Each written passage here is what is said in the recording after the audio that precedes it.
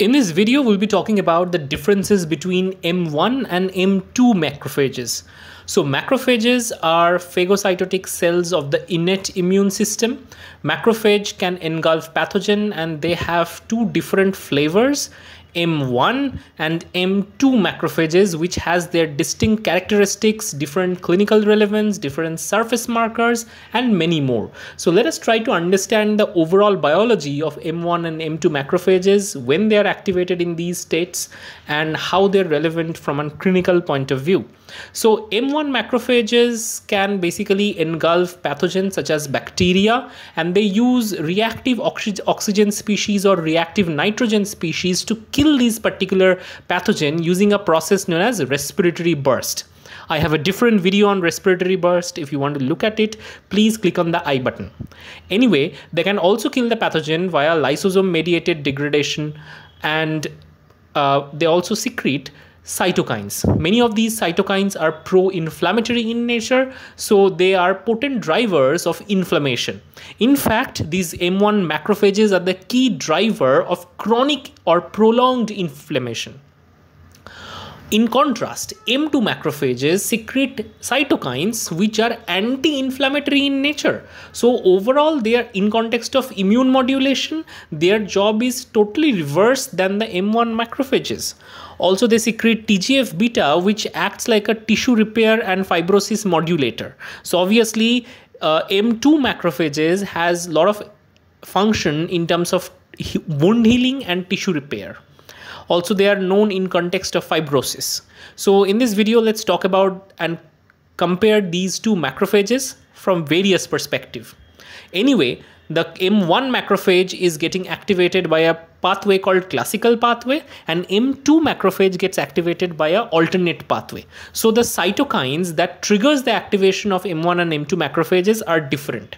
So let's see how M1 macrophages are associated with uh, chronic inflammation, M1 macrophage can present the uh, antigens on class 2 MHC molecule and they can show it to the naive T cell. Naive T cells get activated and M1 macrophage can secrete cytokines such as interleukin 12, 33 and 6 all of which are actually potent inflammatory cytokine that triggers the differentiation of these activated T cells into Th1 and Th17 subcategory. Both these cells are pro-inflammatory in nature. Also, they secrete chemokines, which are chemoattractant molecules that further attract other immune cells to the site of infection, such as macrophage, dendritic cell, or even neutrophils. Now, this particular M1 macrophage acts in a vicious uh, inflammatory uh, cycle. And the cycle is completed by the Th1 subpopulation of T cell, which secretes interferon gamma. Interferon gamma is a polarizing cytokine which triggers M1 differentiation over M2 differentiation. And thereby, M1 macrophage is a key and potent driver underlying uh, basically the chronic inflammation. And also, there are other drivers such as Th1 and Th17 subpopulation. Now let's quickly recap what we learned overall.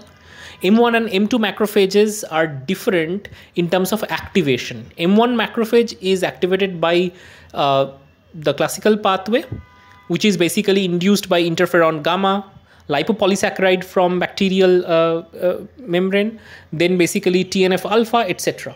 M2 macrophages are activated by interleukin 4, 13, and interleukin 10. Then when it comes to surface marker, M1 macrophage has very high concentration of CD80, CD86 and MHC class 2 molecules. Whereas M2 macrophage in contrast has CD163 uh, and CD206, which is basically mannose receptor. When it comes to function, M1 macrophage has pro-inflammatory function. Obviously, we talked about that M1 macrophage is underlying chronic inflammation. It secretes several inflammatory mediators like IL-1, 6, 12, 23.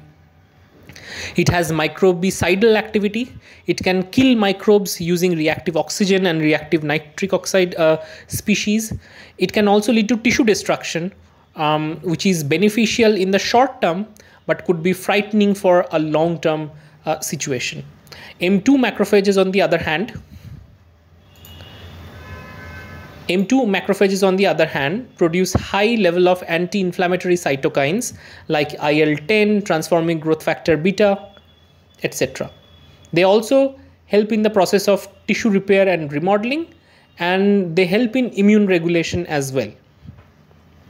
When it comes to clinical significance, they play crucial role in defense against bacterial and viral infections they're involved in pathogenesis of chronic inflammatory disorders such as rheumatoid arthritis, then atherosclerosis, inflammatory bowel disease, etc.